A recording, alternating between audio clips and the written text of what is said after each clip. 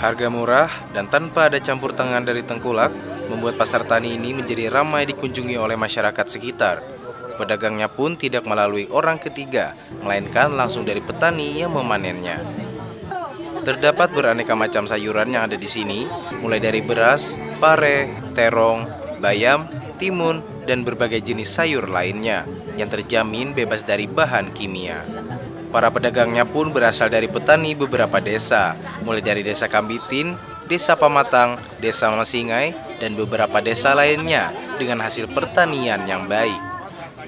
Kebetulan ini buka kantor kan tadi, kalau ke pasar biasa kan kita ada sempat, jadi coba-coba ke sini tadi melihat. Gimana Bu harganya Bu? Sedang aja, murah meriah, sesuai aja tuh. Sementara Kepala Dinas Pertanian Tabalong, Johannor Effendi menjelaskan, pasar ini digelar untuk memberikan harga yang layak antara petani dan konsumen.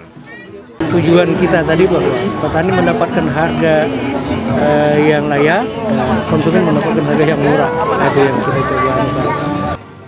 Pasar ini sebelumnya telah dilaksanakan sebanyak tiga kali dan direncanakan masih akan terus dilaksanakan guna memberikan kemudahan untuk masyarakat dalam mendapatkan sayuran organik dengan harga yang murah.